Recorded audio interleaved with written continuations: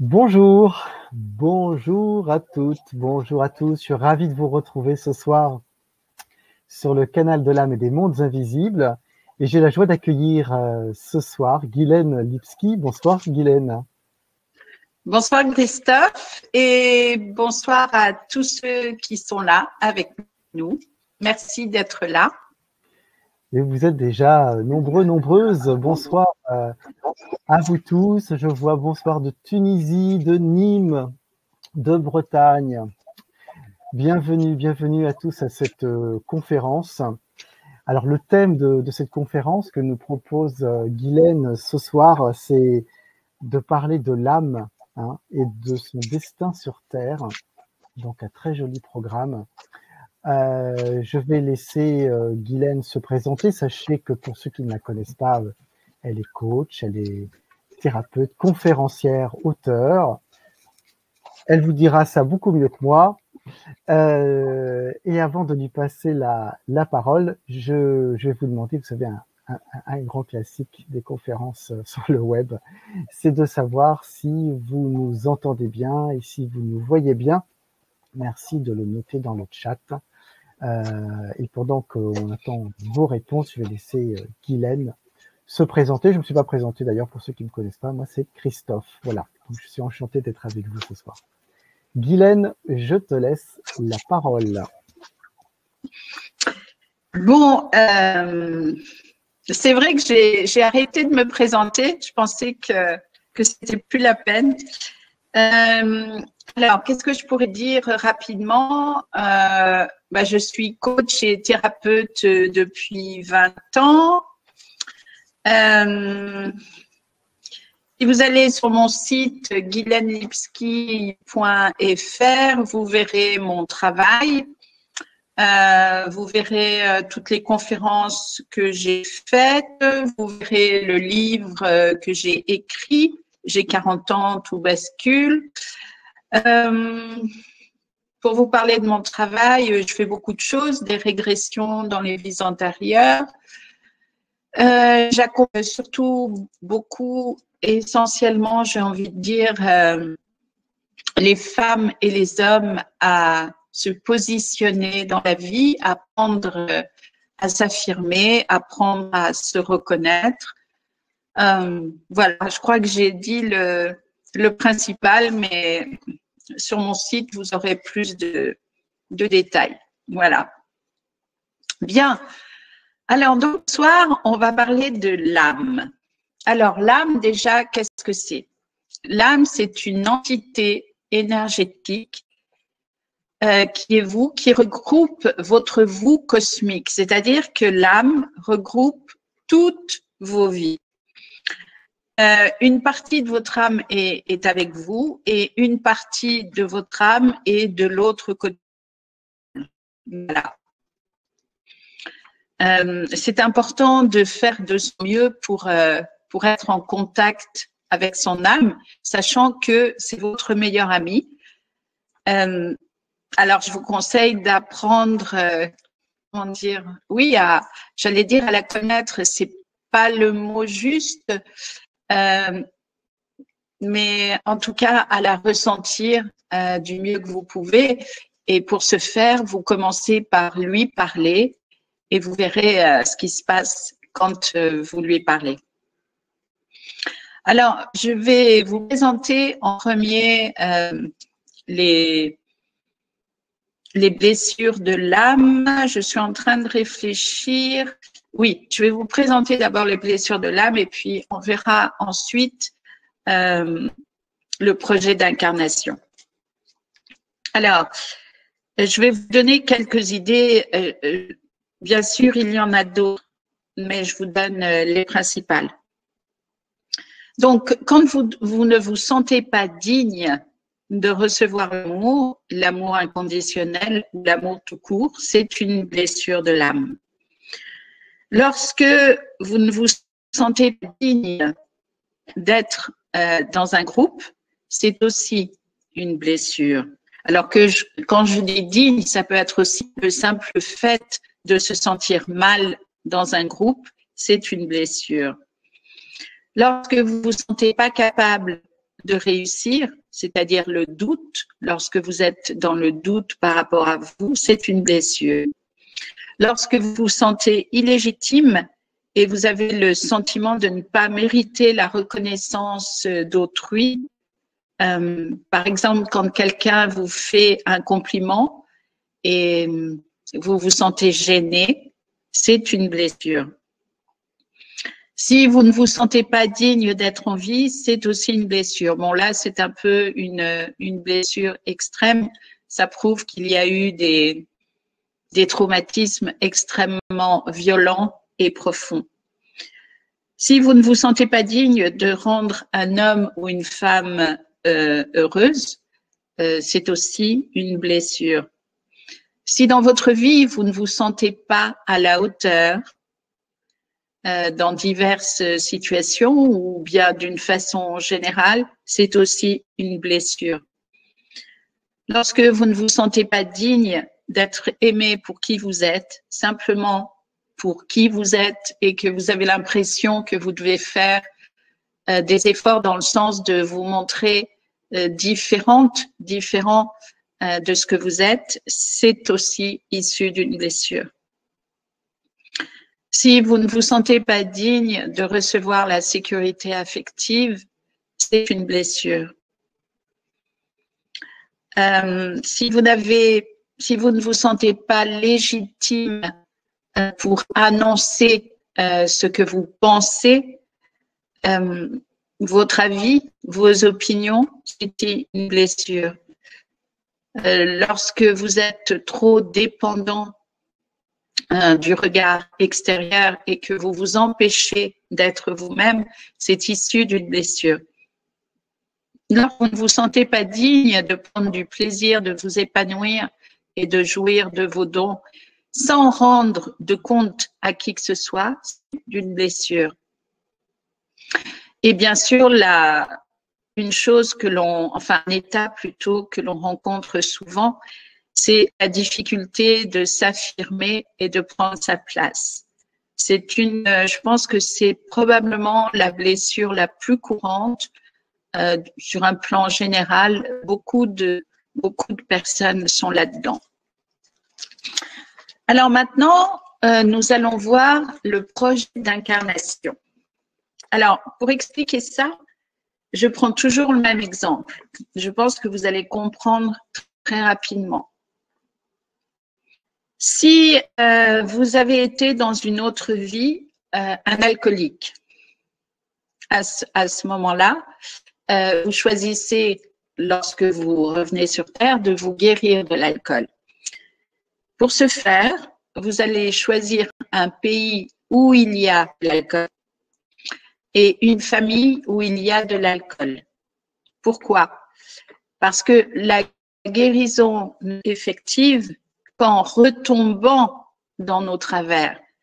Si, la personne qui est alcoolique choisit de revenir dans un pays où il n'y a pas d'alcool ou dans une famille où l'alcool ne lui sera pas présenté, eh, il n'y aura aucune possibilité de guérison puisque euh, la facilité fera qu'elle ne sera probablement pas tentée de boire si elle ne connaît pas l'alcool. Donc, on doit toujours retomber dans nos travers pour, euh, pour, pour nous guérir de ce que nous n'avons pas su être ou de ce que nous n'avons pas su faire de notre vie. Alors, bien entendu, il n'y a vraiment aucun jugement à porter pour la bonne et simple raison, tous autant que nous sommes, nous sommes le résultat, la conséquence de notre histoire et de vie en vie, euh, on va choisir de travailler un élément ou un autre, principalement, de ce que nous avons à rétablir dans l'équilibre. Quand on parle de, karma, il n'y a pas de notion euh, de punition. En revanche, on pourrait dire que le karma, c'est un équilibre à ramener en l'énergie. Par exemple, si vous avez été dans le trop de trop d'abus de pouvoir, euh, vous allez expérimenter ce que c'est que de subir pour connaître déjà ce qu'elles peuvent ressentir quand on les abuse, quand elles sont abusées, euh, mais aussi pour équilibrer votre danse énergétique. Quand euh, on voit la carte du tarot, euh, il y a une balance. Eh bien, le c'est ça. C'est vraiment équilibrer un trop qui a créé un déficit et un abus de l'autre côté. Donc, quoi qu'il se passe, on n'a vraiment pas à juger les situations parce que chaque personne est le résultat de son histoire. Donc, nous avons tous, autant que nous sommes, nous avons des plus et des moins. La différence entre les gens, c'est qu'il y a des personnes qui peuvent regarder, euh, je dirais, leur déficit sans jugement et euh, sans critique euh, portée euh, sur elles. Et puis, il y a des personnes qui préfèrent se cacher à elles-mêmes euh, ce qu'elles qu'elles ne savent pas être ou faire, de façon à le cacher en même temps à l'extérieur. Ce qui, bien sûr, ne marche jamais, mais chaque personne est ce qu'elle peut. Euh, C'est un point important. Les gens ne sont pas ce qu'ils veulent être. Les gens sont ce qu'ils peuvent être en fonction de leur histoire. Euh, je, reviendrai là-dessus. Je vous parlerai euh, à la fin de, la conférence. Euh, Fais-moi penser à ça, Christophe, si jamais j'oublie, mais je pense que je vais y penser, à la vie intra-utérine. Parce que dans la vie intra-utérine, vous allez commencer à vivre, à ressentir toutes les choses que vous venez travailler sur Terre en général. Et vous allez vivre exactement ce que vous avez choisi de vivre. Donc, pour, euh, vous donner plus d'explications, euh, par exemple, une personne qui a abusé de l'autorité va choisir en revenant sur Terre d'être abusé à son tour. Ça, je, je vous ai déjà donné l'exemple. Euh, il faut bien comprendre que notre projet d'incarnation, c'est vraiment un équilibre mettre en place dans ce que euh, nous avons à apprendre.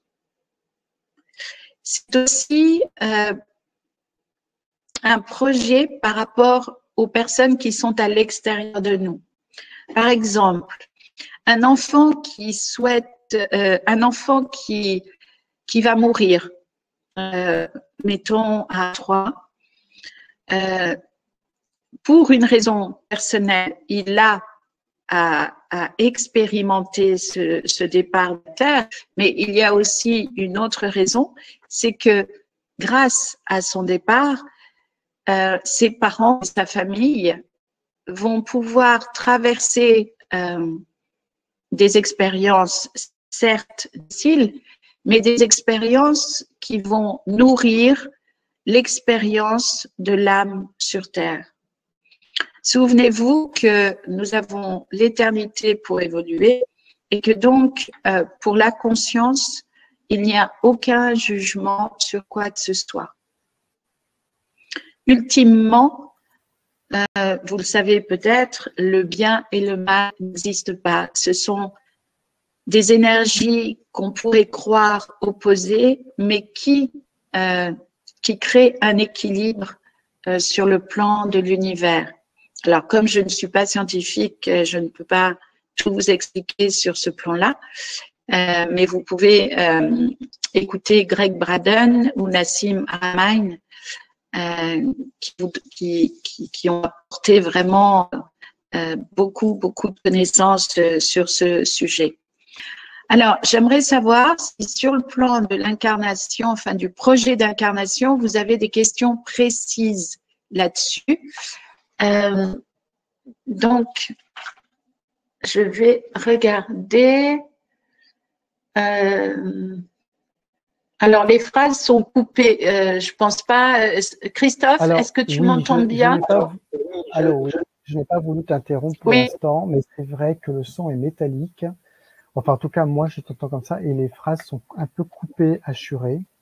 J'essaie de voir en interne avec notre service technique euh, comment on peut améliorer les choses. Est-ce que toi, si tu as un, un, casque, enfin des, des, des écouteurs, est-ce que tu aurais ça éventuellement pour essayer avec? Euh, Et tu penses que ça va Je ne sais pas, j'essaie de tenter cette, euh, ça.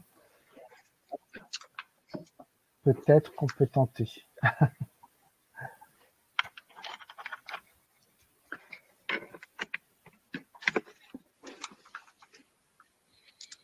Euh, Alors, on me dit que ça fonctionne mieux quand je disparais. Alors, je vais disparaître. Je parle. Hein. Est-ce que tu m'entends là? Oui? Oui, il y a, peut-être des interférences avec toi. Peut-être. Euh,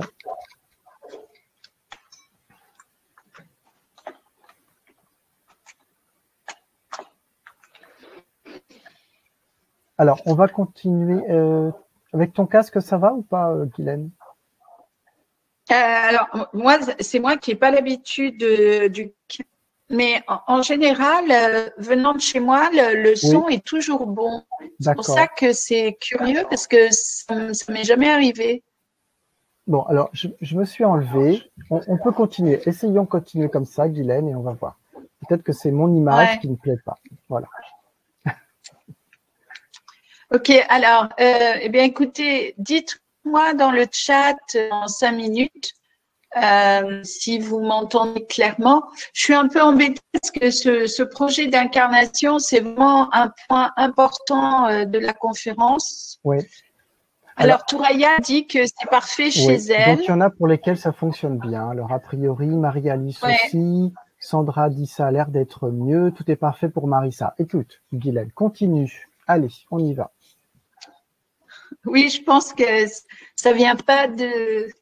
J'ai jamais ce problème en général, donc. Euh, alors, je, vais quand même reprendre un point sur l'incarnation, sur le projet d'incarnation parce que c'est c'est un point important.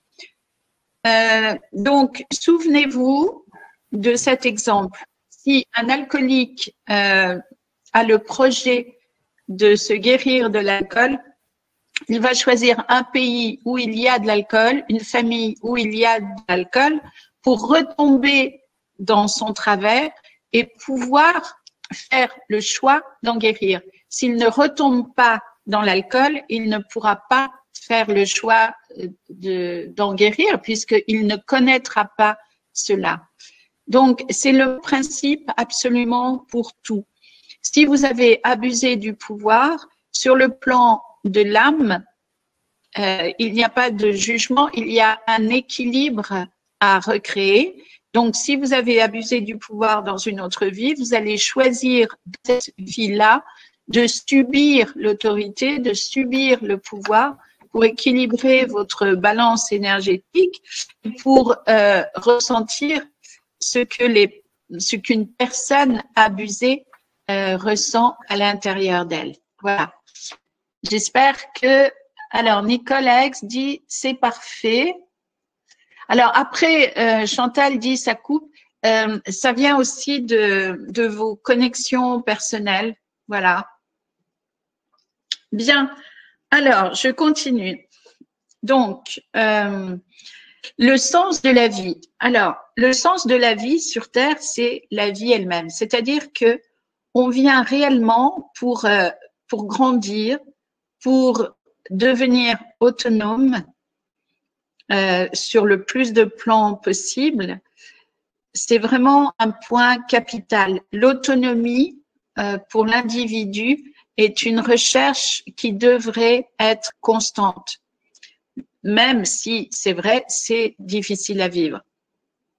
Alors, qu'est-ce que nous venons faire sur Terre? Nous venons introduire l'amour euh, dans le, dans le domaine physique en conscience, ce qui veut dire spiritualiser la matière. Nous venons amener la conscience dans toutes les situations de notre vie afin d'être capable de prendre de l'attitude au lieu de s'identifier, par exemple, à une difficulté à un moment précis, il nous est demandé de prendre de l'altitude pour voir comment la situation est vécue par les personnes concernées, mais aussi par nous. Qu'est-ce qui se joue en réalité à l'intérieur de nous? Donc, nous venons incarner l'infini dans le fini. Je le disais tout à l'heure, spiritualiser la matière. Nous venons reconnaître aussi euh, qu'en nous se trouve le tout. C'est-à-dire que euh, la source euh, que certains appellent Dieu, euh, j'aime pas ce mot-là, j'aime pas prononcer le mot Dieu parce que il est tellement galvé à toutes les sauces et, de manière abusive par les religions c'est toujours un, mot que j'ai du mal à, à nommer. Alors, je vais faire dire que nous venons sur Terre pour reconnaître la source à l'intérieur de nous, alors que souvent on nous a appris à chercher la source à l'extérieur de nous. Nous venons créer notre propre modèle. Et ça, c'est extrêmement difficile, bien sûr, parce que nous avons été euh, dans l'enfance d'une éducation. Parfois, plus qu'une éducation, c'est un dressage. Et puis ensuite, il y a tout le poids euh, de la de l'inconscient collectif, de la conscience collective qui cherche aussi à nous éduquer dans la société, à l'école, euh, partout où nous allons. Euh, il faut pas oublier que l'école, c'est une façon d'apprendre aux humains à eux. C'est un point important. Euh, nous venons aussi récupérer les forces cachées derrière nos défauts c'est extrêmement important de considérer que, ultimement, il n'y a pas de défaut. Il n'y a que des états qui ne savent pas encore être et que nous avons à travailler dans l'équilibre et euh, dans une force positive. Nous venons aussi expérimenter nos croyances négatives.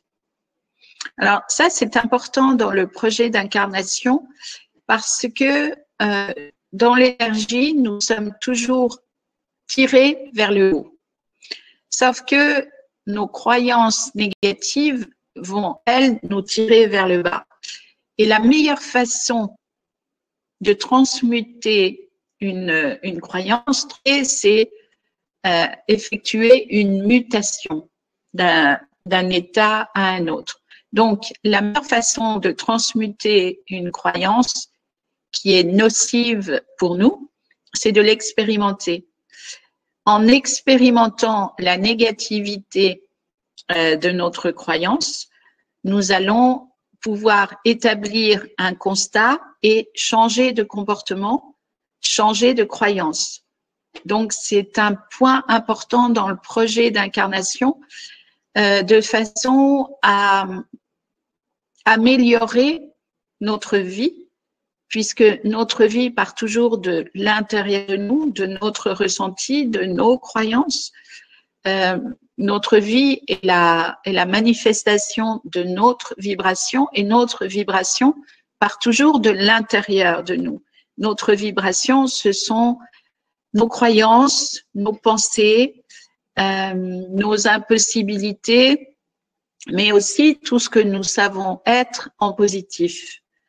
Euh, tout cela crée un amalgame qui génère notre vie euh, à l'extérieur en attirant à nous les situations et les personnes qui correspondent à la vibration que nous émettons. Ensuite, faire euh, de nos faiblesses et de nos douleurs une force.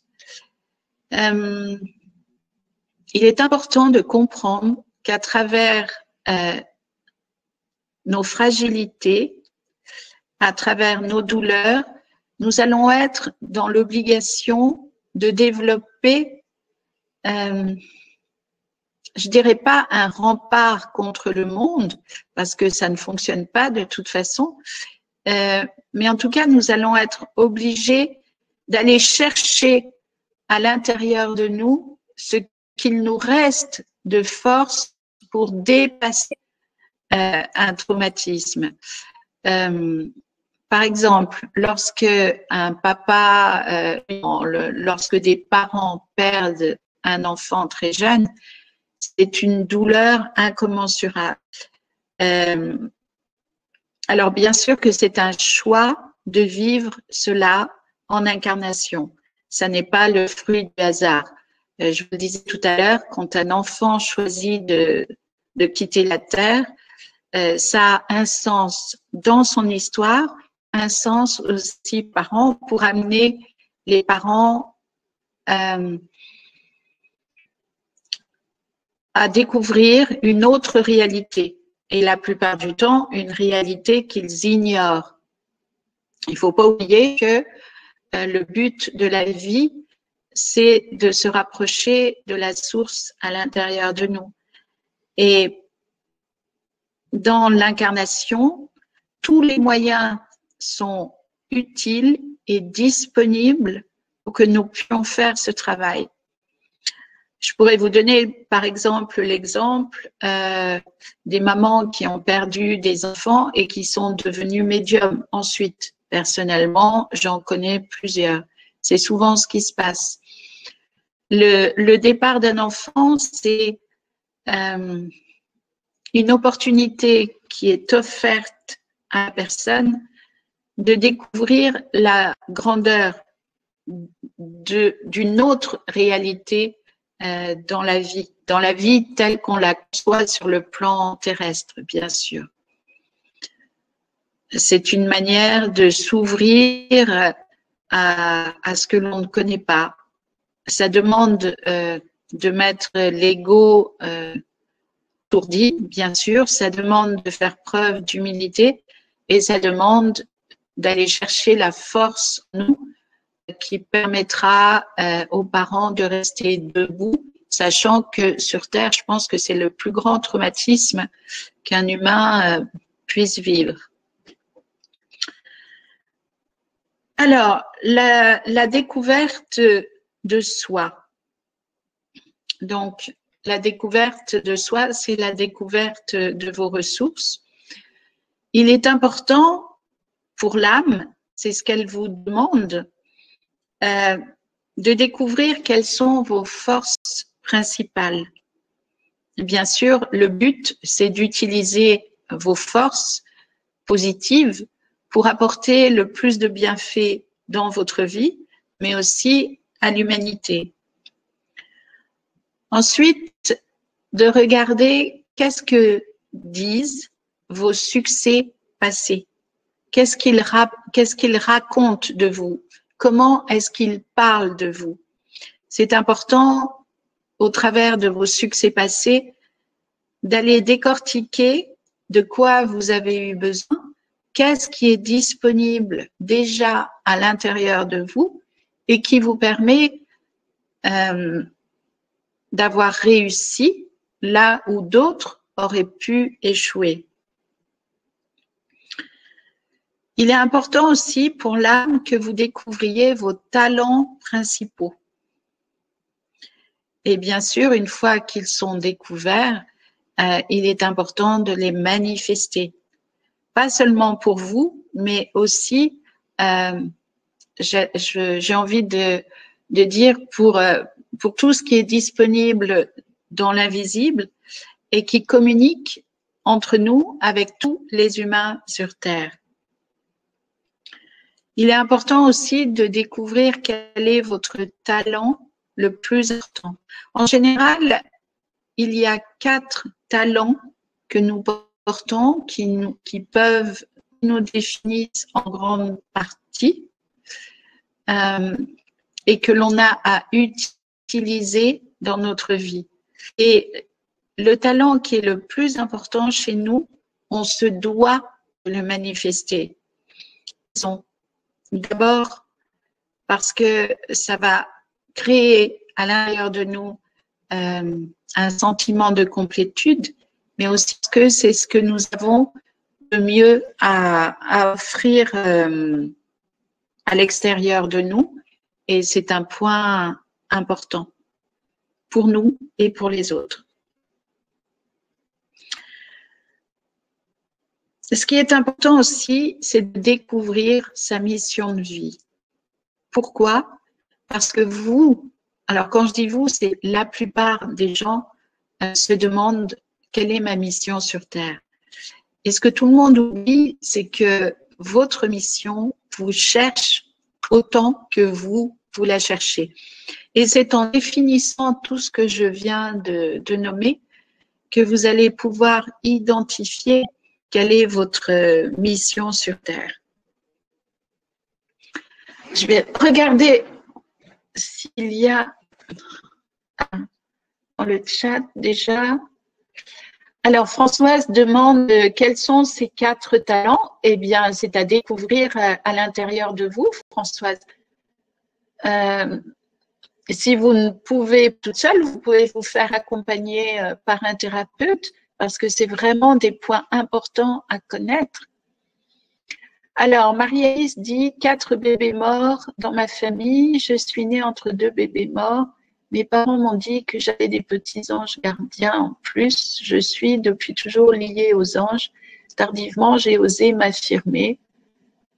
Euh, nous sommes huit vivants, mais j'ai quitté ma famille trop cartésienne eh bien, je dirais que probablement tous ces, tous ces départs étaient là pour euh, justement faire bouger une famille euh, trop cartésienne.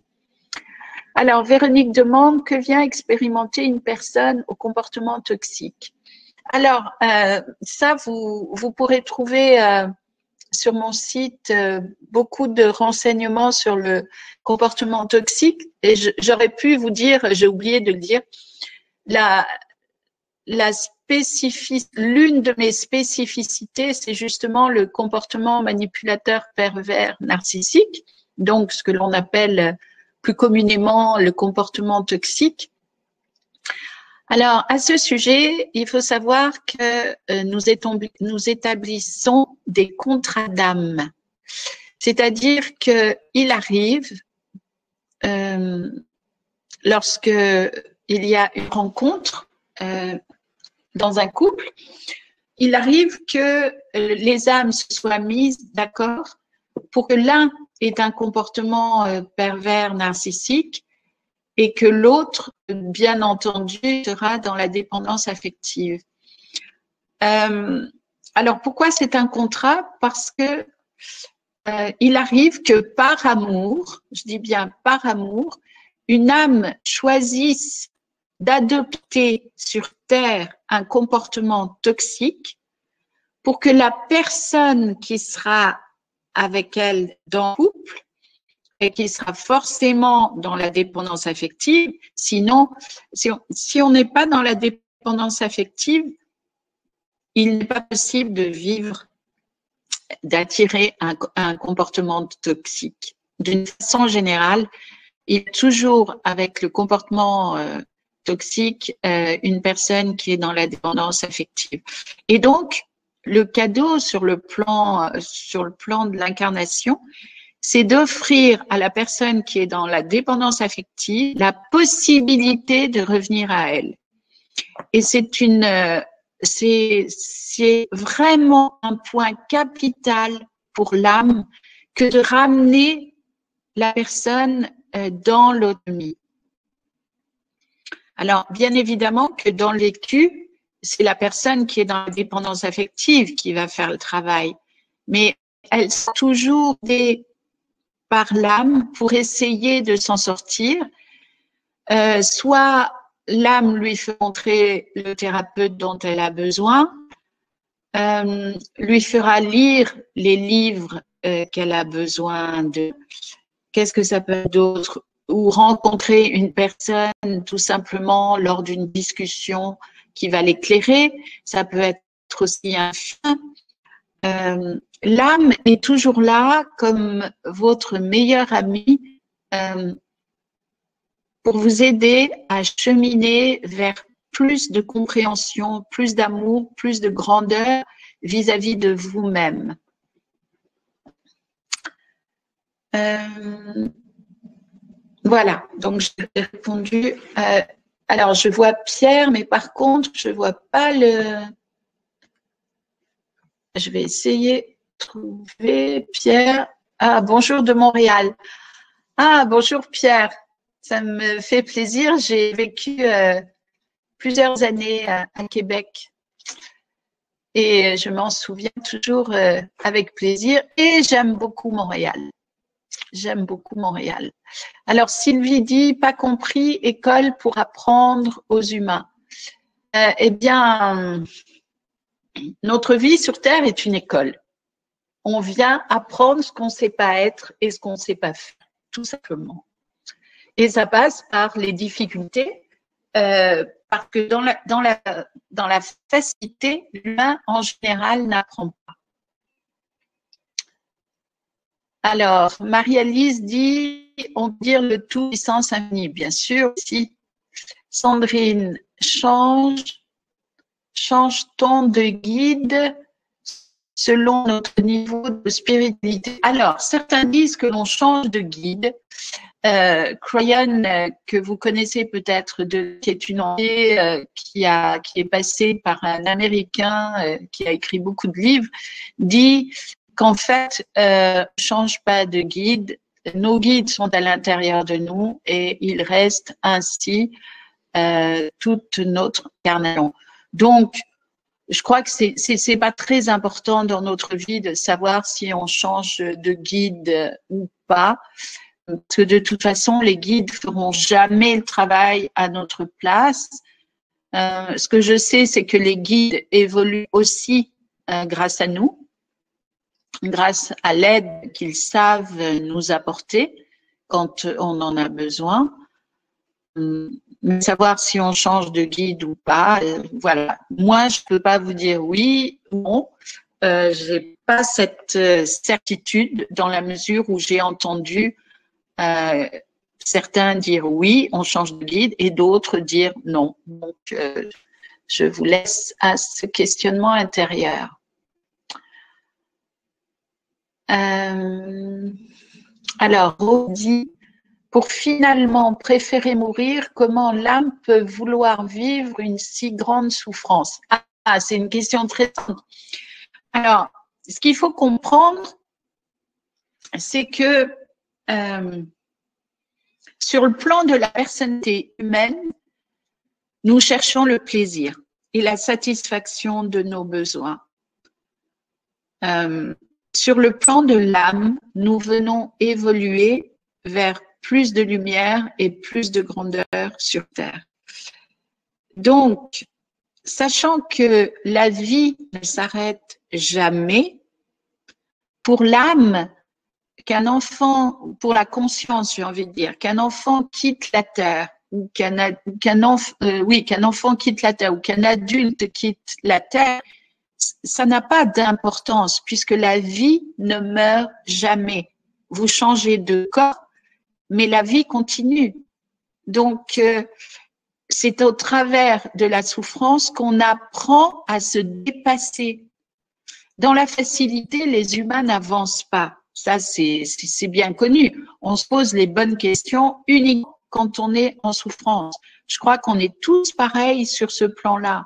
C'est toujours quand on est dans la difficulté et en souffrance qu'on va aller chercher un thérapeute, euh, qu'on va se tourner vers soi en se disant bah, peut-être qu'à l'intérieur de moi il y a quelque chose euh, je ne sais pas ou qui ne fonctionne pas. Tous les humains euh, fonctionnent ainsi, donc c'est pas absolument pas étonnant de choisir de venir sur terre et vivre un traumatisme si, si grâce à ce traumatisme nous allons aller vers vers plus de, lumière intérieure pour moi, c'est très cohérent. Mais c'est sûr que sur le plan de la personnalité humaine, qui ne cherche que le plaisir et la satisfaction, c'est sensible. Donc, il faut bien euh, regarder ces deux plans qui sont deux altitudes différentes, c'est sûr. Alors, Delphine demande, est-ce que la pandémie a un rôle pour nous tous également? Alors, moi, je, moi, je suis persuadée de ça dans la mesure où, euh, par exemple, les gens hyperactifs ont besoin de toujours voir du monde, d'être toujours en activité, de sortir euh, tous les soirs. Forcément, d'être restreint dans leurs activités euh, va les amener à un certain mal-être intérieur. Et dans ce mal-être intérieur, ce mal-être intérieur sera une opportunité pour eux euh, de se poser les bonnes questions et de chercher peut-être à se connaître mieux aussi.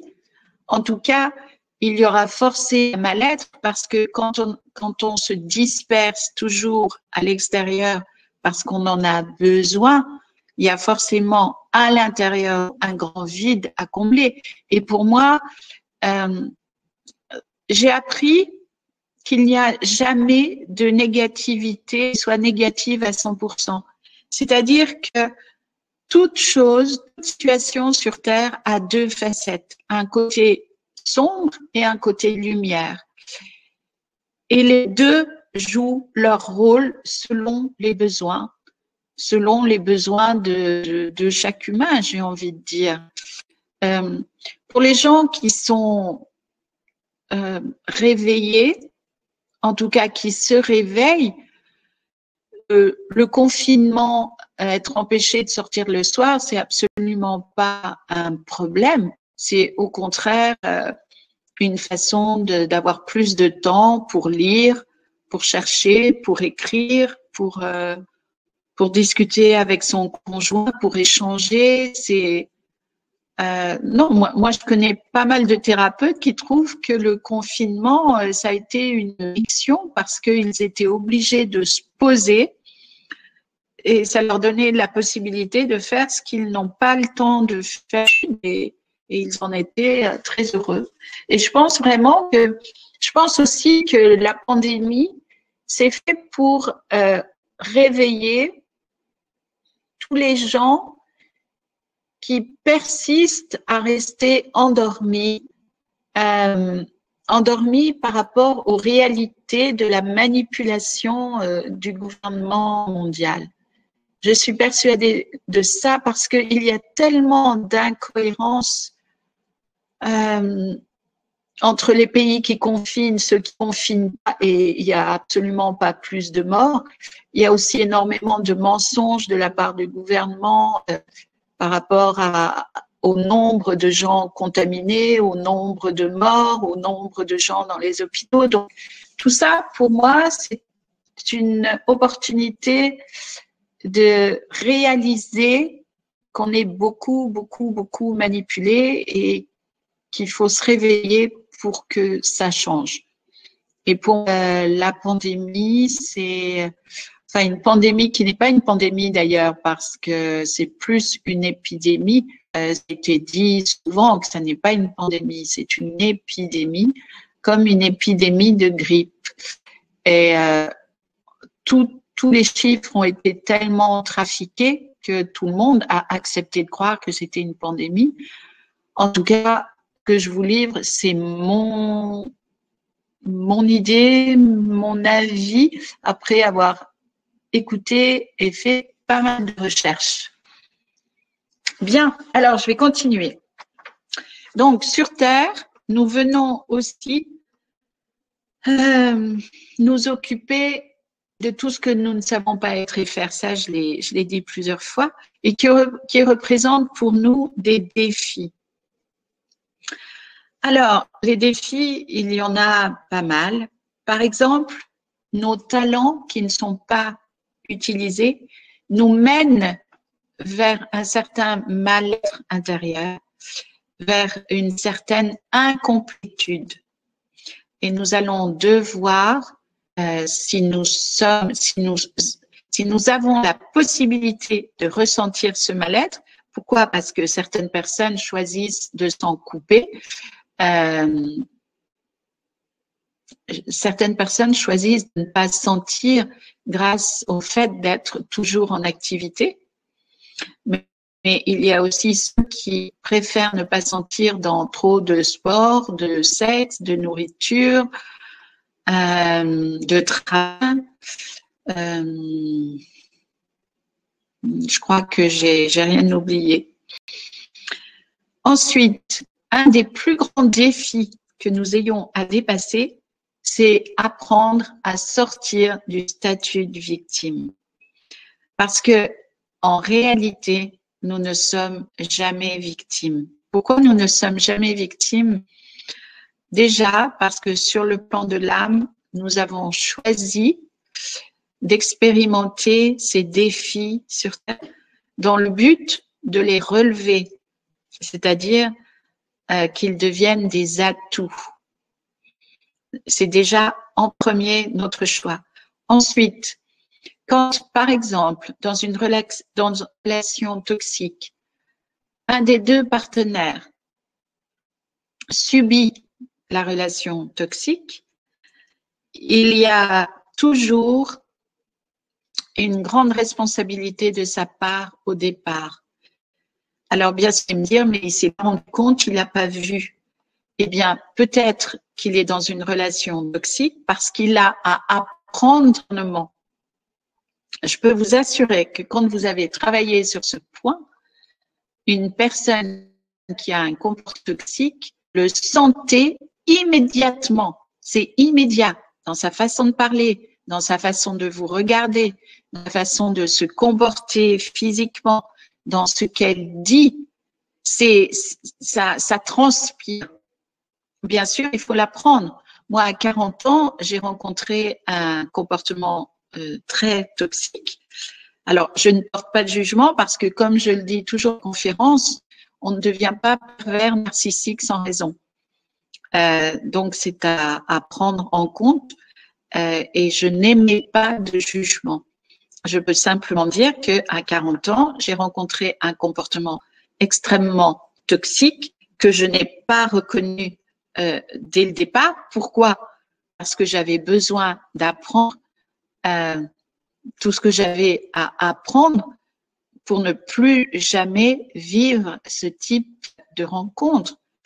Et, euh, et c'était vraiment le choix de mon âme de, de me faire vivre la situation, que je passe par là, pour plein de raisons probablement que j'ignore, mais surtout pour euh, savoir euh, en tant que thérapeute, bon, à, à 40 ans, je savais pas que j'allais devenir thérapeute puisque c'est grâce à cette expérience douloureuse, très douloureuse. C'est le sujet d'ailleurs du livre que j'ai écrit. J'ai 40 ans, tout bascule. Euh, donc j'ai vécu cette expérience extrêmement douloureuse qui m'a permis euh, d'apprendre énormément de choses et de devenir thérapeute. Si je n'avais pas vécu cette rencontre très douloureuse, euh, je ne serais sûrement pas devenue thérapeute, je pense. Et il faut savoir une chose, bon, ça c'est un détail, quand on est dans une relation toxique, plus la douleur est grande, plus la plupart du temps, c'est parce que nous avons retrouvé euh, une âme jumelle ou, une âme sœur. Et, et c'est ce qui fait que on va persister un temps euh, dans cette relation toxique, c'est-à-dire ne pas la quitter parce qu'on ressent quelque chose d'extrêmement fort. Et tout est juste, tout est juste. C'est vrai que le but, c'est d'en sortir. Par exemple, a, si vous êtes dans un mariage, dans une relation toxique, votre âme et vous avez choisi de traverser euh, cette expérience dans le but d'en guérir. Comment vous pouvez en guérir? En quittant la relation toxique. Tout, c'est ce que je vous expliquais tout à l'heure, tout a un sens et toute situation difficile comporte un côté lumière et un côté sombre. Selon vos réactions, vous allez aller vers la lumière ou vous allez rester dans le côté sombre. Ça demande euh, beaucoup de courage, bien sûr, pour euh, quitter une situation toxique. euh, ça permet inévitablement, normalement, d'apprendre le discernement et aussi d'apprendre à se connaître mieux. Et euh, je, j'ai accompagné énormément de, femmes qui, qui se sont trouvées dans des, dans des relations toxiques et qui ont bien sûr, à la fin, euh, tout ce que ça a pu leur apporter de bénéfices dans leur vie une fois qu'elles ont quitté euh, la relation toxique, bien sûr. C'est un, j'ai envie de dire qu'une relation toxique, ça peut être un précipice ou ça peut être un tremplin. Euh, c'est vous qui choisissez selon les choix que vous allez faire, selon le courage qui va être le vôtre. Et là, l'âme, elle vous aide énormément puisque l'âme sait exactement pourquoi vous êtes dans cette relation toxique. Donc, vous serez aidé. Est-ce que vous accepterez l'aide que vous avez proposée? Peut-être oui, peut-être non. Peut-être l'aide ne, vous conviendra pas car vous avez trouvé l'apprentissage trop difficile. Dans ce cas-là, vous allez choisir de continuer à souffrir parce que pour vous, c'est plus confortable que faire l'effort de quitter la relation toxique. Il y a aussi un point important. Bon, là, je m'éloigne un peu de mon sujet parce que tout ça, vous pouvez le, vous pouvez le, découvrir dans toutes mes conférences que vous trouverez euh, sur mon site. Donc, euh, je ne vais pas continuer sur ce sujet parce que je vais me, je vais me répéter euh, et vous, vous pouvez tout avoir.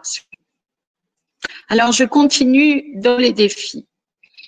Donc, sortir du statut de victime est un des défis les plus importants à relever en incarnation. Ensuite, devenir acteur de sa vie. Alors, euh, certaines personnes euh, qui ont été bien accompagnées enfants se, comportent de façon naturelle euh, pour être acteurs dans leur vie, pour créer leur vie ça n'est pas naturel pour tout le monde. Pour les personnes qui ont souffert dans l'enfance, elles sont souvent enfermées dans un statut de victime. Pourquoi? Parce que l'enfant, euh, il est toujours victime. Quand l'enfant est en souffrance, il est toujours victime des situations. Et la difficulté pour un enfant qui est en souffrance, c'est un jour de sortir de l'état de victime par un travail approprié, bien sûr. Pourquoi? Parce que c'est pas parce qu'on est victime enfant qu'on doit rester victime toute sa vie.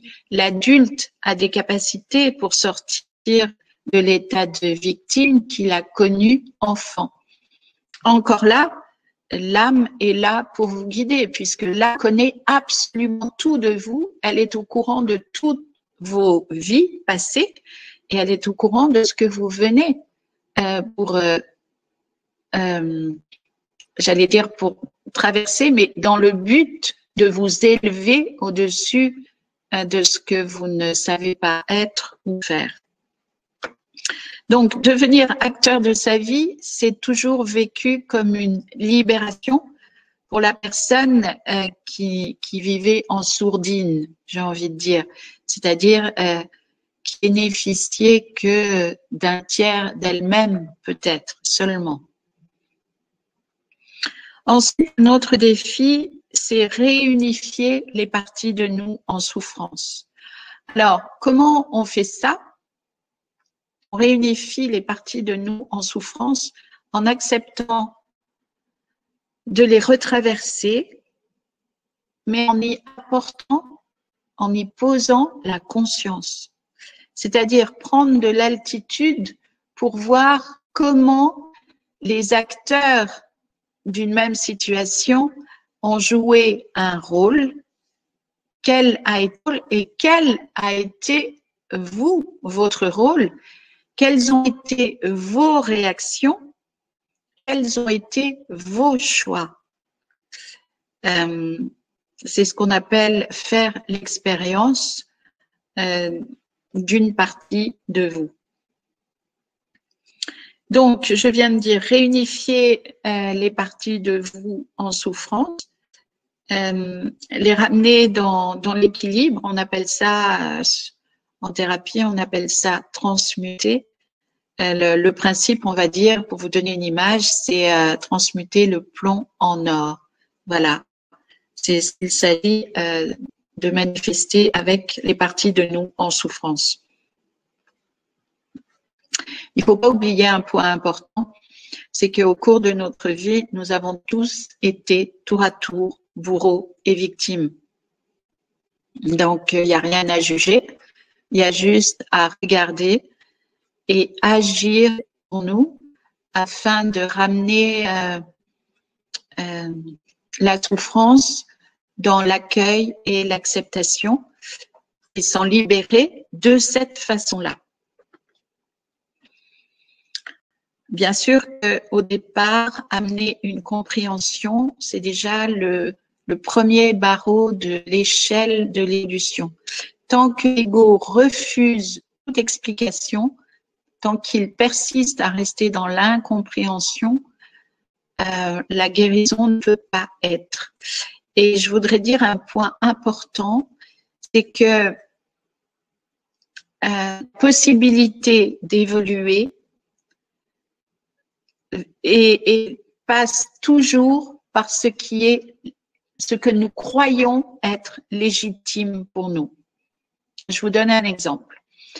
Euh, si une femme, euh, par exemple, dans un couple, la femme aime son mari et le mari a un comportement froid et indifférent.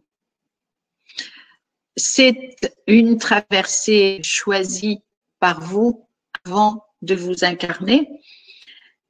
Et euh, ce, qui est, ce qui est important, c'est de réajuster ce que je vous expliquais tout à l'heure, euh, la conscience de manière juste en reconnaissant que cette situation difficile à vivre a un sens. Euh, et lorsqu'on apporte un sens, on apporte une compréhension et on commence à se libérer de la souffrance. Et c'est vrai que dans un couple, on pourrait penser que la femme, en tout cas, pourrait penser qu'il est complètement légitime que son mari lui apporte de l'amour, de la tendresse, euh, une, une, présence sincère, authentique. C'est vrai que en théorie, euh, on peut penser que c'est légitime, sauf que euh, dans la réalité, nous avons choisi de vivre cette situation difficile et qui, qui nous semble légitime par rapport à nos demandes pour justement être dans l'obligation de revenir à nous. Je vous le disais tout à l'heure, c'est toujours dans la souffrance qu'on choisit euh, de chercher euh, pour améliorer notre souffrance. C'est humain, tous les humains sont là-dedans. Alors, j'en étais dans les valeurs, euh, non, j'en étais dans réunifier les parties de nous en souffrance. Ensuite, il y a les valeurs manquantes qui sont primordiales à mettre en place dans notre vie. Alors, pour cela, euh, nous allons choisir d'expérimenter une situation, encore une fois, difficile, où nous allons devoir prendre à mettre en place une qualité que nous n'avons pas. je vous parlais tout à l'heure, par exemple, euh, de, la personne qui, qui, se retrouve dans une, euh, une relation toxique. Eh bien, forcément, elle va avoir prendre le discernement qu'elle n'a pas. Sauf que si elle accepte d'apprendre, si elle accepte de regarder et de comprendre ce qui se joue, elle va pouvoir en tirer une conclusion et garder cette conclusion afin de ne pas faire à nouveau la même expérience. Un autre défi, c'est rompre avec le modèle hérité de notre enfance, de notre éducation. Pourquoi? Parce qu'on nous a appris euh, à être et à faire la plupart du temps des, des choses. C'est, pas le mot qui convient, mais on nous a appris à être à l'encontre de ce qui est bon pour nous. Et on appelle ça l'éducation. Euh, je crois que c'est Marc Aurel qui disait que l'éducation, c'est taire ce que nous pensons euh, de, à propos de nous et taire ce que l'on pense de négatif à propos des autres. Et, je crois que c'est vrai. L'éducation et, aussi la religion euh, nous apprennent euh, déjà l'idée du péché. Euh, c'est dans la mesure où, euh, par exemple, le, le, comportement pervers narcissique n'est pas devenu père narcissique par hasard. C'est probablement et la plupart du temps qu'il a beaucoup souffert dans l'enfance d'un parent qui était déjà dans un comportement euh, euh, pervers et narcissique. Donc, par conséquent, la notion de péché à, la source n'existe pas. Et vous allez me dire, oui, mais le pervers est prêt de faire du mal. C'est vrai, c'est vrai, mais il n'est pas tombé dans la perversion par hasard. Donc, à la source, le péché, contrairement à ce que les religions euh, nous apprennent, n'existe pas. Donc, nous n'avons pas à sortir du péché, nous n'avons pas à payer pour nos péchés, euh, nous avons à regarder ce que nous ne savons pas être pour apprendre à l'être. Et dans ce regard que nous posons, il n'y a pas de jugement. Dans le péché, il y a un jugement vis-à-vis de nous et vis-à-vis de l'autre. Donc, rompre avec le modèle hérité de l'action est un pas important parce que ça ne vient pas de vous. Et surtout aujourd'hui sur Terre, nous sommes vraiment, vraiment appelés à qui nous sommes en vérité à l'intérieur de nous. Euh, et ça passe par euh, trouver notre autonomie, nous détacher du regard extérieur, parce que personne ne fera le, le, le travail à notre place. Et si vous faites des comptes dans l'espoir de vivre euh, une situation qui va répondre à vos besoins, la plupart du temps, vous verrez que ça ne fonctionne pas. Et dans les couples, euh, parce que j'accompagne aussi des couples, euh, je me rends compte que euh, les compromis que font l'un et l'autre pour obtenir qu'ils souhaitent ne fonctionnent pas et qu'un jour ça pète parce qu'à force de se contraindre soi-même à ne pas être qui on a envie d'être à l'intérieur, un jour ça explose. C'est, ça peut pas être autrement. Ensuite, un autre défi, c'est d'amener la conscience dans les expériences difficiles. Parce que amener la conscience dans les expériences difficiles nous permet de redevenir acteurs de notre vie. Si nous, si nous n'apportons pas la conscience dans, dans les expériences difficiles de notre vie, nous restons victimes. Et la victime, elle n'a aucun pouvoir pour se sortir de sa situation. La victime attend toujours d'être sauvée par l'extérieur. Manque de chance, euh, ça ne peut pas marcher et ça ne marchera jamais. Et la victime peut passer toute sa vie à être dans la souffrance parce que ce qui lui est demandé, c'est de sortir de l'état de victime pour devenir acteur de sa vie. Ensuite, euh, récupérer nos ressources passées qui nous sont nécessaires dans cette vie. Il y a des parties endormies de nous, euh, plus ou moins selon ce que nous avons vécu dans l'enfance de difficile. Euh, pour les personnes qui ont vécu beaucoup de souffrances, il y a euh, une grande partie d'elles, tant qu'elles n'ont pas fait travail évolutif, qui restent endormies et qu'il s'agit de réveiller pour redevenir peut-être pas entier parce que est-ce que dans une vie on peut récupérer toutes les parties de nous Je sais pas. aujourd'hui, c'est vrai que l'énergie est très puissante et nous pousse vraiment dans nos retranchements pour récupérer toutes ces parties endormies de nous. C'est un travail euh, qui n'est pas facile, mais en tout cas, je dirais qu'on peut quand même récupérer les trois quarts de nous, de ce qui est positif, bien sûr. Ensuite, euh, un autre défi, c'est identifier notre propre consentement inconscient dans, dans les comportements que nous laissons les autres agir dans notre vie. Euh, ça s'appelle, euh, par exemple, faire des compromis. Ou ça s'appelle, pour la personne qui est dans la dépendance affective, euh, accepter d'être dans toxique parce qu'elle n'a pas le courage, la force intérieure de prendre soin d'elle. Et encore là, il n'y a absolument rien à juger.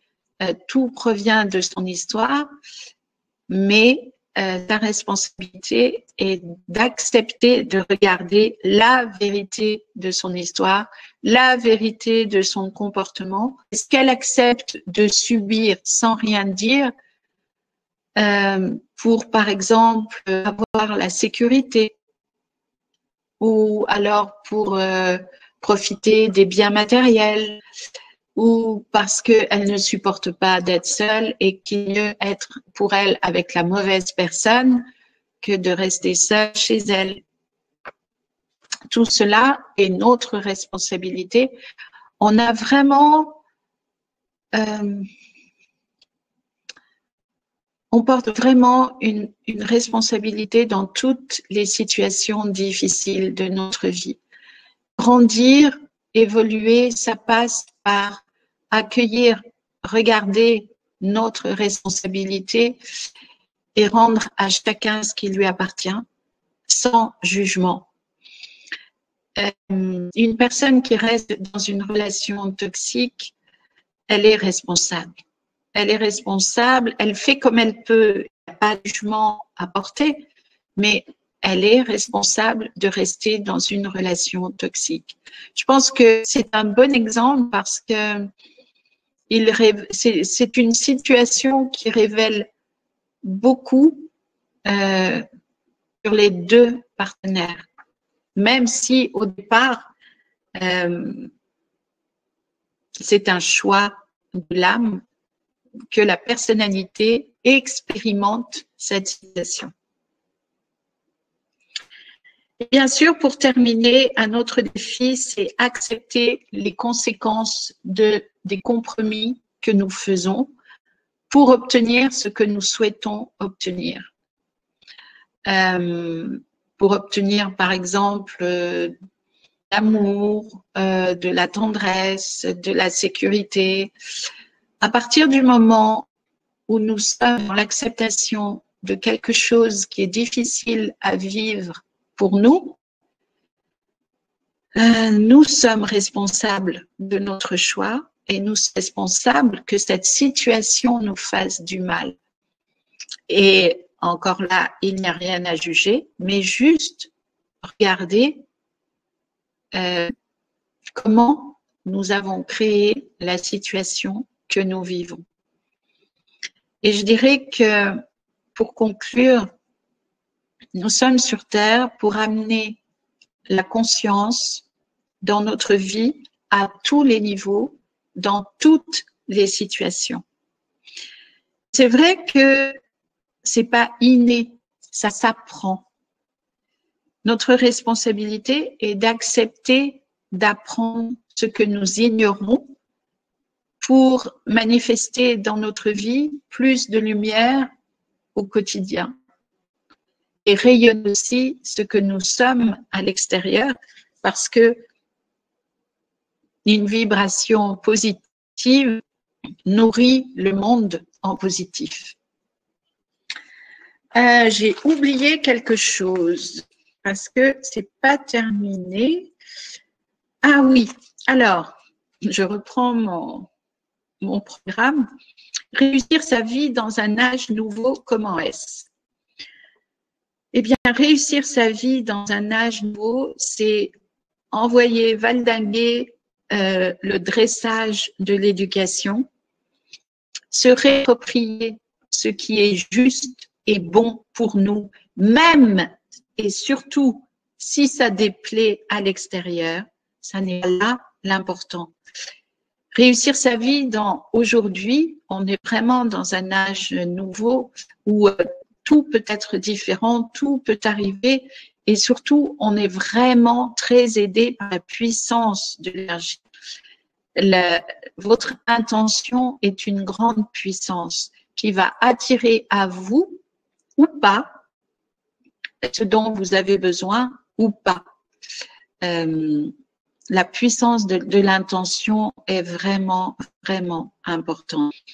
Donc, ce qui vous est demandé aujourd'hui, dans cet âge nouveau que nous sommes en train de traverser, c'est de prendre votre place. C'est pour chacun de nous de prendre la place que nous avons la possibilité de prendre en faisant le travail nécessaire, bien évidemment, pour être en capacité de prendre cette place qui nous attend. C'est vraiment notre responsabilité. C'est ce qui nous est demandé aujourd'hui. Et pourquoi il y a tant de souffrance à, l'heure actuelle sur Terre, c'est parce que euh, prendre sa place quand on est dans le statut de victime, c'est extrêmement difficile. C'est beaucoup plus facile pour un prédateur, pour le comportement prédateur, de prendre sa place, puisque je dirais que de façon naturelle, il est là pour abuser à l'extérieur de lui. Donc forcément, chez lui, c'est naturel. En revanche, euh, pour, euh, pour la personne qui est dans le statut de victime, c'est très difficile de prendre sa place. Mais malheureusement, elle va vivre des situations toujours plus conflictuelles, toujours plus difficiles, qui vont lui appuyer sur la tête pour qu'un jour, elle se dise, stop, là, où je vais mourir, où il faut que je fasse quelque chose pour moi. Et à ce moment-là, bingo, euh, la difficulté, la souffrance ont fonctionné à bon escient et la personne décide de se sauver elle-même alors qu'avant, elle attendait d'être sauvée par les autres. Je vous le disais, tout a un sens. Donc, prendre notre place aujourd'hui, vraiment, on n'a pas le choix. Et si on ne le fait pas, euh, on va beaucoup souffrir de ce que l'on ne prend pas sa place on peut souffrir moralement et on finira toujours par souffrir physiquement parce que le corps réagit toujours à la souffrance morale. Euh, donc, le dernier point, la nécessité de devenir une opportunité pour soi-même afin de ne pas contrecarrer notre projet d'âme sur Terre. C'est vraiment, à l'heure actuelle, euh, un élément vital dans notre vie euh, que de devenir une opportunité pour nous-mêmes. Alors, comment on devient une opportunité pour soi-même? Eh bien, en faisant les choses que nous aimons, en faisant ce qui va nous apporter du plaisir, du contentement intérieur, de la satisfaction, en faisant ce qui va élever notre vibration et élever notre vibration, ça passe toujours par le bonheur dans quelque chose. Et être une opportunité pour soi-même, c'est arrêter d'espérer que les autres à l'extérieur vont nous apporter euh, ce qui nous manque, vont répondre à nos besoins, mais euh, répondre à nos besoins par nous-mêmes, nous apporter à nous-mêmes, faire du mieux que nous pouvons pour nous apporter ce qui nous apporte du plaisir à l'intérieur de nous. Alors, quand je parle de plaisir, ce sont pas des, ce sont des choses qui sont bonnes pour nous parce que vous allez me dire, euh, boire un verre d'alcool, euh, on, se fait plaisir. Euh, trop manger, on peut se faire plaisir. Euh, trop de sport, on peut se faire plaisir. Euh, juste pour nous, n'est jamais dans le trop. Parce que le trop est l'ennemi du bien. Toujours, toujours. L'équilibre n'est jamais dans les extrêmes. L'équilibre, c'est au milieu. Et il est important, nous, donc, de trouver et de vivre et de mettre en place des situations qui vont nous apporter du bien-être à l'intérieur de nous. C'est vraiment un engagement aujourd'hui que nous devons prendre vis-à-vis de nous parce que vous voyez bien dans quel état est la société et les gens à l'extérieur de vous euh, ont déjà beaucoup de difficultés pour s'occuper d'eux-mêmes, donc ils n'auront pas la possibilité de s'occuper de vous. Donc vous ne pouvez compter que sur vous euh, pour magnifier votre vie, euh, pour nourrir vos cœurs. Et le faisant, vous allez vous rendre compte que la vie répond à vos besoins. Euh, c'est pas moi qui dis aide-toi, le ciel t'aidera. C'est ça, c'est exactement ça. Prenez soin de vous, montez à la vie que vous vous accordez de l'importance et la vie suivra votre, votre action. Pourquoi? Parce que l'énergie suit toujours l'intention. Si euh, votre intention euh, part de la souffrance, l'énergie vous apporte plus de souffrance. Si l'intention part à partir du bonheur, la vie, l'énergie vous apporte plus de bonheur. Voilà, pensez bien à ça. C'est la responsabilité de chacun de vivre euh, un, nettoyage intérieur pour être le plus possible euh, dans un état sain à l'intérieur de nous qui, qui attirera à nous, en tout cas qui attirera à nous ce qu'il est. Voilà. Alors maintenant, je vais prendre euh, vos questions. Guylaine, je voulais juste. Christophe, est-ce que tu as quelque chose à dire? Oui, je voulais juste indiquer que j'ai mis en ligne ton offre d'atelier. Et euh, si tu ah oui, c'est vrai, ben l'atelier. Peut-être qu'il y a des personnes oui, qui sont intéressées. Ça. Et voilà, il y a déjà une question de Hélène. Je, je, je, suis dispersée ce soir.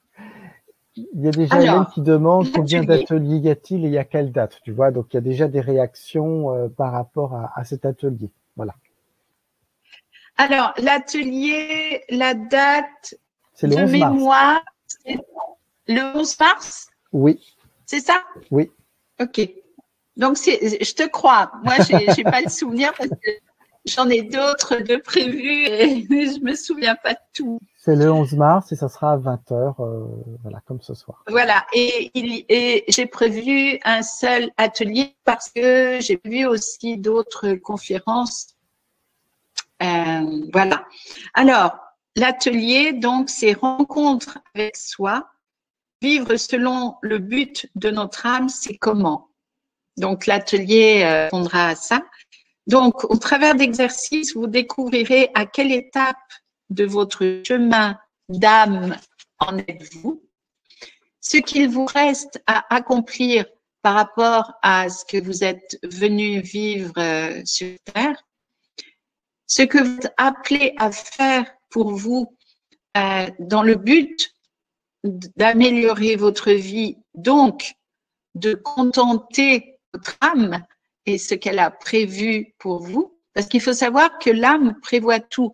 Par exemple, euh, si vous devez avoir un accident, pour une raison X ou Y, peu importe, euh, souvenez-vous, dans la conscience, le jugement n'existe pas.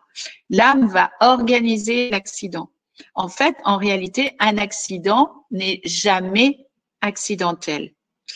Il a raison d'être pour euh, euh mettre la personne dans, une, dans la situation d'apprendre ce qu'elle a besoin d'apprendre. Donc, on verra ensuite ce que vous êtes appelé à faire pour servir votre projet d'âme puis, on fera une méditation qui est extrêmement importante. Ah oui, j'ai encore oublié une chose. J'ai oublié de vous parler de la vie intra-utérine.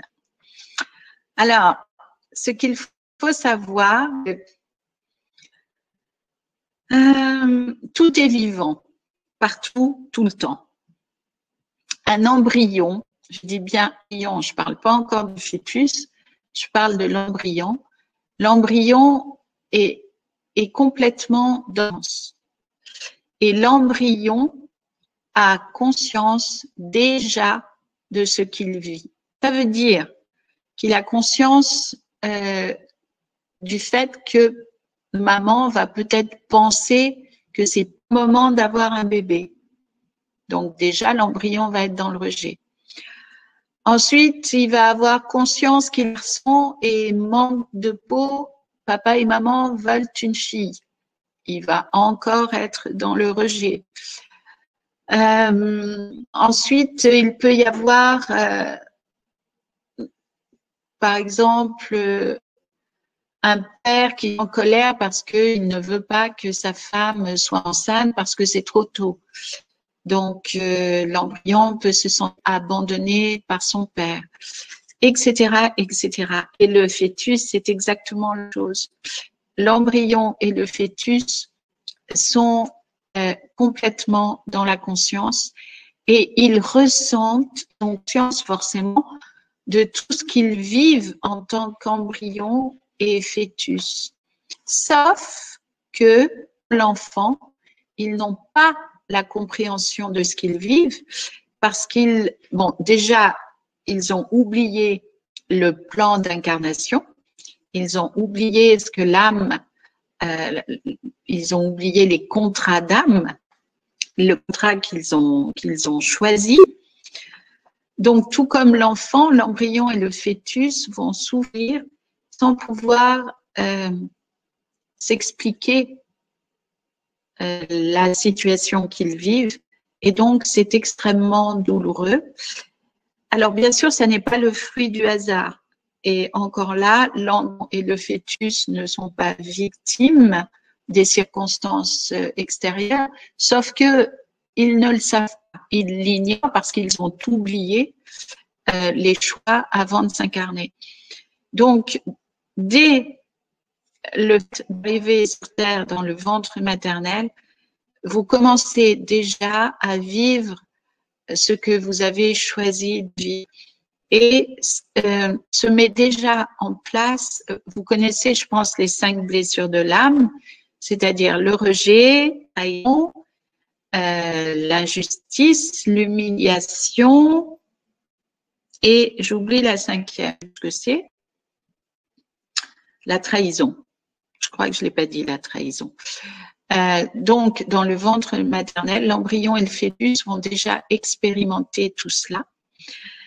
Et il faut aussi savoir, euh, il y a 10% euh, des grossesses, c'est beaucoup, 10%, ça en fait 10 sur 100, où il y a un, deux ou trois embryons qui partent euh, quand je dis qu'ils partent, euh, pas, pas les trois, mais euh, un ou deux. S'il y en a trois, par exemple, il y en a deux qui s'en vont, ou s'il y en a deux, il y en a un qui s'en va. Et c'est un, un immense traumatisme pour le pour l'embryon qui reste. Et il va garder euh, ce sentiment d'abandon toute sa vie tant qu'il ne fera pas le travail ou de rejet, etc., etc. Donc, ce que je vais vous proposer, c'est de faire euh, une méditation pour ressentir du mieux que vous pouvez euh, ce que vous avez vécu en tant qu'embryon. Et bien sûr, vous aurez affaire à refaire cette méditation chez vous, toute seule, mais vous aurez le, le replay euh, pour continuer à travailler sur ce que vous avez pu ressentir comme souffrance en tant qu'embryon et fœtus. C'est vrai aussi que c'est facile, euh, vous verrez d'ailleurs, vous allez vous en rendre compte, c'est beaucoup plus fort de le faire en étant accompagné euh, par un thérapeute et de le faire en groupe aussi, parce que vous savez que dans la conscience, que vous soyez, euh, il y en a un à Montréal, un autre à Grenoble, un autre à Paris, euh, peu importe les personnes où elles se trouvent, à partir du moment où on commence un travail en groupe, dans la conscience, dans l'énergie, on est relié. Et le travail de groupe donne plus de force, forcément, euh, au travail que nous faisons. Cependant, ce sera toujours utile et bénéfique pour vous de continuer à faire cette, méditation tout seul chez vous parce que vous pouvez en à ressentir euh, plus de choses au fur et à mesure. Voilà. J'ai encore oublié une chose, c'est de donner le prix de l'atelier. Je crois que c'est 45 euros. C'est ça, Christophe? Je crois que c'est 47, mais à 2 euros près. Euh, je, ah, que nos amis ne nous en voudront pas. Mais c'est 47, il me semble. Je ne sais plus. Bon, là, je crois que j'ai plus rien oublié. Bon. alors, j'attends vos questions. Oui, alors il y a, y a, des questions. Euh, effectivement, il y a Catherine qui demande qu'en est-il des jumeaux perdus morts avant la naissance? Ben, C'est exactement de ça que je viens de parler. C'est de la vie intra-utérine. Alors peut-être que la ça question laisse, était avant. Ça laisse euh, à l'embryon ou au fœtus une déchirure, un sentiment, euh, une grande souffrance, un sentiment d'abandon. C'est, terrible à vivre euh, pour le pour l'embryon ou le fœtus, vraiment. Et, et c'est pour ça que c'est si important de ah, d'aller chercher euh, ces réponses pour se libérer de ce chagrin. Parce que Là encore, l'embryon et le fœtus ne sont pas victimes, c'est-à-dire que ça devait être comme ça. Le, deuxième embryon n'était dans le ventre maternel que pour repartir.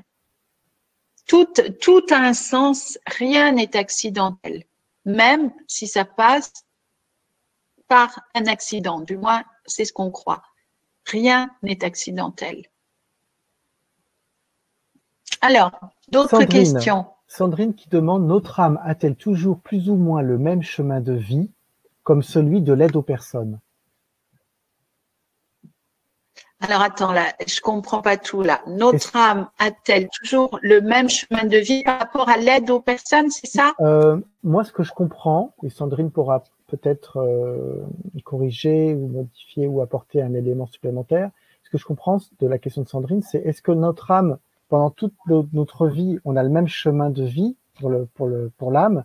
Euh, elle donne un exemple comme celui de l'aide aux personnes. C'est vrai qu'il y a des personnes qui sont plus portées vers deux personnes, d'autres ça va être d'autres domaines d'activité dans la vie. C'est ce que je comprends.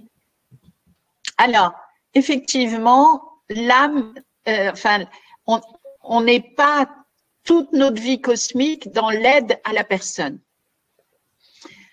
Euh, parce que dans nos vies, euh, on est tour à tour bourreau et victime. En fait, le but, c'est d'expérimenter toutes les facettes de l'incarnation. Euh, en revanche, il est vrai que l'âme acquiert au fur et à mesure de ses vies, on va dire une spécificité, une spécialité. On peut appeler ça comme ça. Et c'est vrai qu'il y aura des âmes qui seront plus portées, euh, par exemple, vers la musique et deviendront euh, des pianistes, euh, auront étudié la musique dans pas mal de vies, ou des âmes qui auront été thérapeutes, même si ça s'appelait pas comme ça, peut-être sorcières au départ dans, dans pas mal de vies. Oui, je, dirais que l'âme acquiert au fur et à mesure quelques spécificités. Mais néanmoins, ne jamais oublier qu'au cours de vie, on est vraiment là pour, euh, pour expérimenter toutes les facettes de l'incarnation. Prostituée, au, au psychopathe, euh, tout. et c'est pour ça que tant de gens ne, comprennent pas qu'il n'y a, a, jamais de jugement à poser parce que euh, ce sont des expériences d'incarnation et ce sont des choix sur le plan de l'âme. Donc, euh, la personnalité, elle est sage, n'a pas de jugement à porter là-dessus. Alors, il qui demande, suite à des traumatismes vécus, est-ce qu'une âme peut être fragmentée? Absolument, absolument.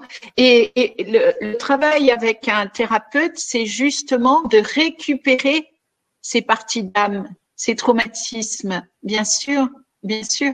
Redevenir entier, c'est récupérer toutes les parties euh, qui, qui, par exemple, quand une, une enfant, une petite fille se fait violer, eh bien, il y a une partie d'elle qui, qui s'en va, effectivement, parce que, parce que la, la douleur est trop immense.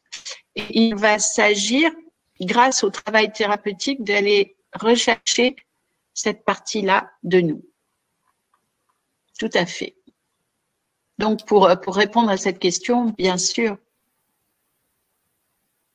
Yazu Yi qui demande est-ce qu'il y a une relation entre la mort et la mission de notre âme? Alors, si la mission de l'âme, elle est de mourir euh, accidentellement euh, à 30 ans, euh, oui. si la mission de l'âme est de, de faire une NDE pour, vous savez ce que c'est une NDE, hein, c'est Near Death Experience, c'est les gens qui quittent leur corps, par exemple, au cours d'une opération qui, où on, dans, un, certain laps de temps, on croit qu'il part, etc. Euh, oui, mais je ne vois pas. Euh, oui, on peut, on peut choisir encore, oui, d'arriver sur Terre pour repartir très vite. Oui, c'est la mort. Mais euh, c'est toujours pour servir le plan de l'homme et pour servir aussi les gens autour de nous la question est, pas précise, alors je ne sais pas très bien comment répondre précisément. Euh, une autre question de MH énergique. Se peut-il ou arrive-t-il que l'on signe pour un défi d'incarnation trop gros pour une vie euh, Et dans de tels cas, que se passe-t-il? Bon, recommence depuis le début parce que j'ai pas compris. Euh, se peut-il ou arrive-t-il que l'on signe pour un défi d'incarnation trop gros pour une vie? Alors, la Bible dit que rien n'est jamais, euh, rien ne nous est jamais imposé qui soit trop difficile à dépasser pour nous, pour la personne. Cependant, il est vrai que la personne qui se suicide est arrivée à un stade euh, trop difficile pour elle. Mais comme il n'y a pas de jugement, elle reviendra dans une autre vie pour revivre la situation, s'en sortir cette fois-ci. Donc euh, oui, ça arrive puisque le suicide, c'est ça. Mais d'une façon générale, euh, les situations ne sont jamais au-delà de nos capacités. Sandra, comment distinguer entre les choix de notre âme et les contrats d'âme qui peuvent nous gêner dans notre vie?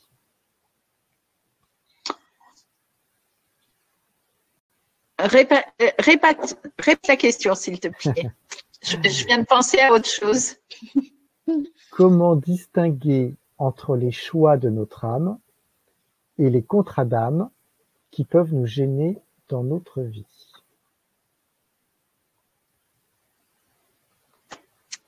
Je, ne comprends pas parce que le contrat d'âme qui nous gêne dans notre vie, c'est le choix de notre âme. Donc, euh, je comprends pas la question. Euh, oui, je, je comprends pas parce que ce qui est difficile à dépasser pour nous en incarnation, euh, ça a été choisi par nous. Donc, alors, c'est vrai que contrat d'âme peut être gênant pour nous, mais c'est toujours pour la personnalité que c'est gênant. jamais pour l'âme. Je, je, comprends pas bien la question. Sandra, éventuellement, est-ce que si vous êtes toujours là, est-ce que vous pouvez préciser votre question? Euh, Annick demande pourquoi vouloir se comporter en sauveur. Bah parce que ça fait du bien à la personne qui se comporte ainsi, ça, ça la rassure, ça, ça la nourrit. Euh, on se comporte en sauveur parce que, par exemple, on avait un papa ou une maman qui attendait euh, d'être euh, nourri par, par nous pour prendre soin d'eux. Alors, euh, mais c'est encore là une expérience de l'âme d'agir en tant que sauveur pour s'apercevoir qu'on ne peut sauver personne, on ne peut que se sauver soi-même. Euh, mais c'est la personne là-dedans, forcément, euh, elle a à traverser ce sentiment pour en sortir. Tout ce que, tous les choix d'incarnation que nous faisons qui ont l'air d'être négatifs, c'est toujours pour nous apprendre quelque chose de positif. Et comment ça devient positif? C'est au moment où on choisit de sortir d'une situation négative.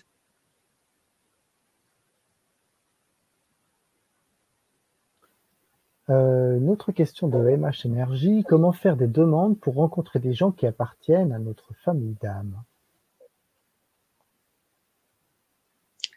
Demandez à vos guides, j'ai envie de dire. Euh,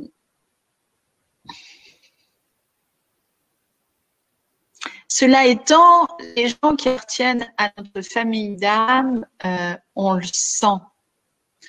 On le sent parce que euh, si on vient de faire la rencontre, on est proche très vite, on est dans l'authenticité, sent qu'il y a quelque chose de profond qui se met en place très rapidement.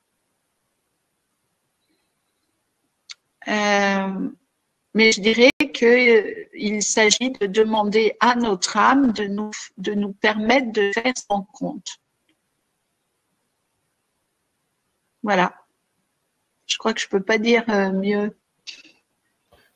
Alors, ceci dit, pour compléter, moi, j'ai déjà participé à une journée de rencontre des familles d'âmes. Donc, euh, ça existe aussi. Euh, vous pouvez forcer un peu le destin, éventuellement. Oui, mais là, là, ce que je veux dire, c'est qu'on t'a appris les familles d'âmes. C'est ça? Bah, en fait, hein, on t'a appris les familles d'âmes oui, bah, en fait, tu, tu connais certainement Marie-Lise Labonté qui a effectivement écrit un, ah, bah, bien sûr, elle a écrit un livre sur les familles d'âmes. Voilà, donc déjà peut-être de, si vous l'avez pas déjà lu, de lire ce livre parce que ça vous éclaire déjà sur les différentes familles d'âmes. Alors après, mm. c'est un point de vue, hein, c'est son, parce que voilà, mais euh, non, mais il est bien son livre. Il est bien, et déjà laissez-vous guider par ce livre et puis de voir qu'est-ce qui vous parle comme type de famille d'âme. Et puis, j'ai déjà participé à une journée des rencontres des familles d'âme. Alors, il y avait les passeurs avec les passeurs, les guérisseurs avec les guérisseurs, etc., etc. Bon, c'est plutôt sympathique euh, de, rencontrer d'autres gens qui font partie de votre famille d'âme, voilà. Mais effectivement, de, toute façon, je pense qu'on attire aussi. Euh, euh, Alors, ce, que, ce, qui est, ce qui est dit, c'est que de vie en vie, on se retrouve. Mmh. Déjà de vie en vie, on se retrouve. Donc forcément, j'aurais tendance à dire que on se retrouve dans notre famille d'âme quelque part. Et, euh, bah, notre famille, déjà, c'est sûr, on est dans une famille d'âme.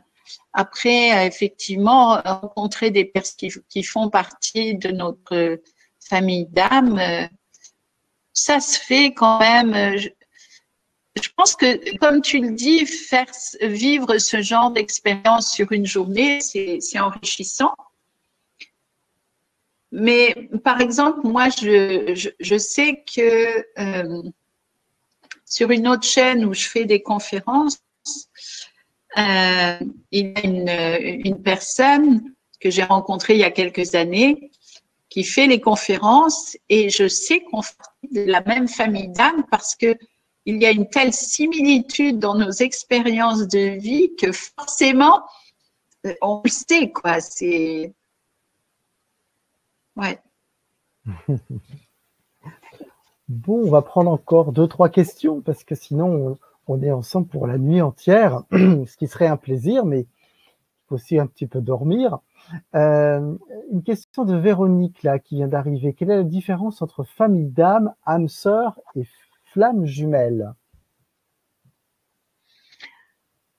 Oh là là, moi je ne veux pas partir là-dedans parce que, et ça c'est mon avis, c'est moi Guylaine, je dis pas que raison.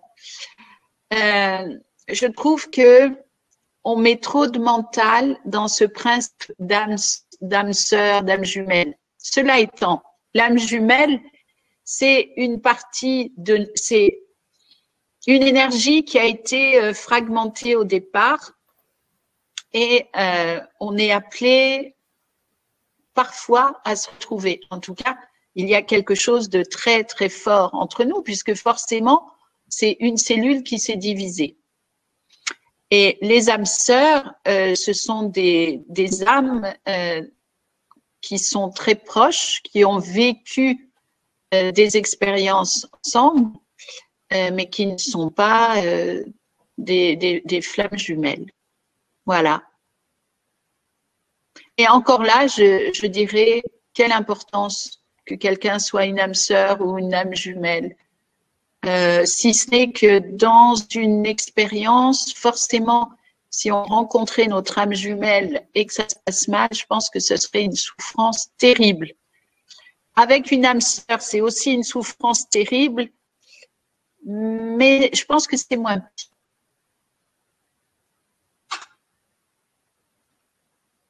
Alors, j'ai vu plusieurs questions qui traitaient de ce thème-là. J'ai vu la question de Sandrine, de Touraya, et je vois une question de. Juliette, c'est un peu différent. Mais euh, voilà, est-ce que c'est l'âme qui choisit la date de naissance, la date de la mort? Et la question de Juliette, qui est un peu, une fois parti, peut-on choisir de ne plus jamais s'incarner? Voilà, exactement la même question. Alors, euh, déjà, la première question, c'est oui. Euh, que la date de, de naissance et, et, de la mort sont programmées. Il paraît même que les, tu sais, maintenant les médecins programment beaucoup les accouchements. Il paraîtrait même que même les accouchements programmés vus par l'âme. Bon, ok. Moi, je suis pas la science infuse, hein, donc euh, j'ai pas toutes les réponses.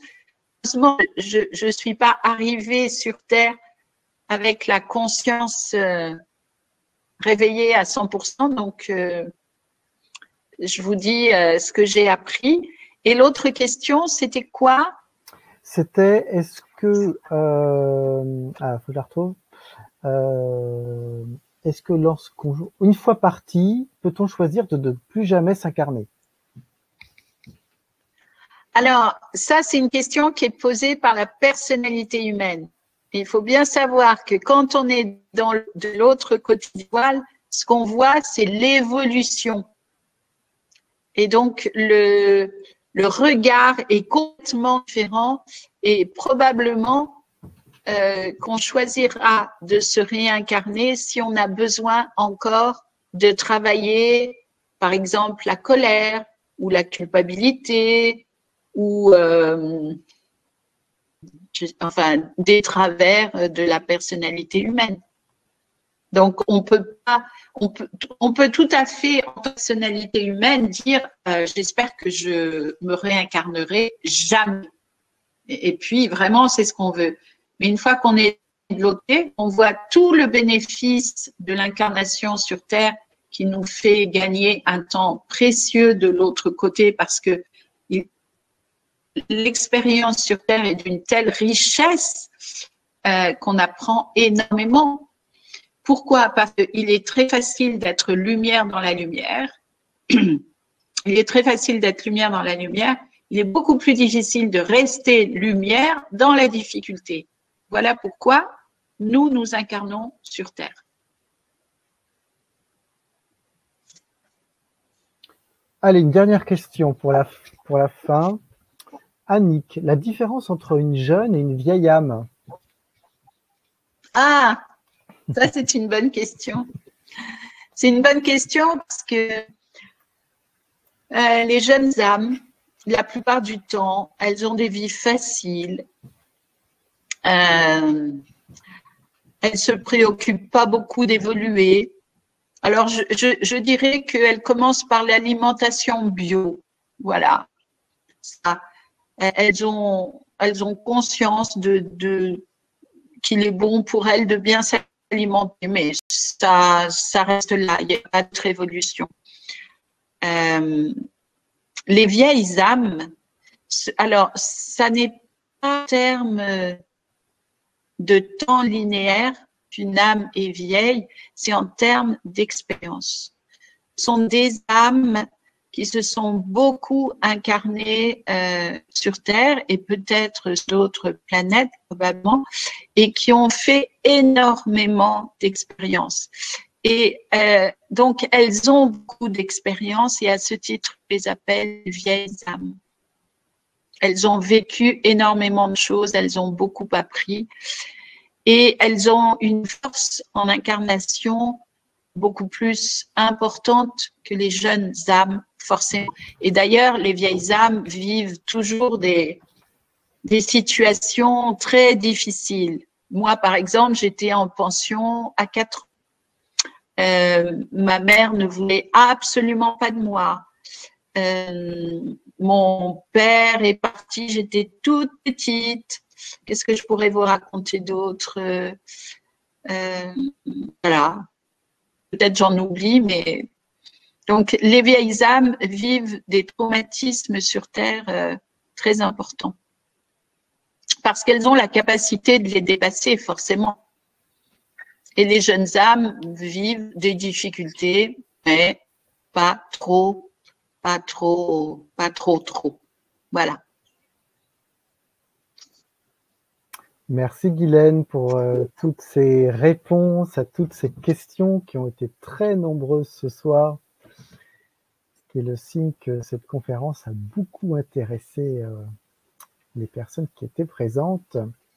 Alors déjà, te, remercier. On n'a pas pu répondre à toutes les questions, mais voilà, c'est pour la prochaine fois, la prochaine conférence de Guylaine. Euh, pour ceux qui sont intéressés, n'oubliez pas l'atelier du 11 mars. Donc vous avez euh, plusieurs jours hein, pour pouvoir vous inscrire. Donc le jeudi 11 mars à 20h. Merci Guylaine pour, euh, pour cette présence ce soir, pour ta présentation. Merci Christophe, merci à toutes les personnes présentes ce soir, merci pour les questions. Et, je peux vous donner le titre de ma prochaine conférence qui sera, je crois, au mois de juillet. C'est la nostalgie de l'ailleurs et ses conséquences dans notre vie présente. Parce que ça va être un sujet extrêmement intéressant aussi. Certainement. La nostalgie, euh, d'ailleurs, beaucoup, beaucoup de, personnes en chemin ressentent ça. Eh et ça fait des dégâts dans nos vies. Rendez-vous pour cette prochaine conférence et rendez-vous pour ton atelier là qui est beaucoup plus rapproché. Euh, oui, absolument, raison. merci, merci à vous toutes et à vous tous d'avoir été aussi nombreux ce soir et aussi euh, interactifs, aussi questionnants. C'était très vivant, passionnant.